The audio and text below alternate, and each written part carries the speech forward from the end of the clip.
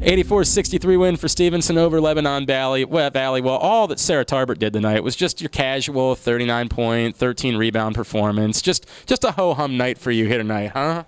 Yeah, I mean, I was when the first three went in and then the second three went in, I was really feeling it. And I was just fortunate for my teammates to be able to get me the ball and get in the open spots. So, how important is that for you? Because obviously you're getting double teamed every time you go inside. How important is it to have you four threes tonight? But how important is that for that to be part of your game to be able to knock those down to sort of loosen up the defense? I think it's really important, not only because they're doubling me on the inside, but the fact that I can hit them on the three. It not only opens me up, but then it opens up the inside for other players like Caitlin Van Tash or John Ye to drive. So, um, it not only helps me uh, score in other ways, but it helps my teammates score too. You know, the other thing too is you get so close to 40 points, but then even after that, you don't get there, but then your teammates get in, they get some shots, the reaction that you have, how good does that feel? Knowing you wanted to get there, but then to see your teammates be able to get on the floor at the end and score some points themselves. I mean, it would have been nice, but it's just one point. It doesn't really matter.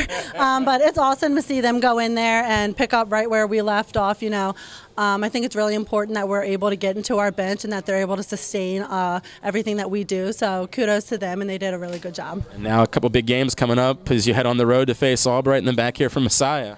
Yeah, uh, two of the biggest conference games for us, and uh, we're right there with them. So it's always a battle to the end. So I think we're pretty excited for them. We're just going to call it a 40-point performance. we're going to go back and find a point somewhere to give you. Sara, congratulations on a big win. Thank you. She's Sara Tarbert. I'm Glenn Clark for GoMustangSports.com.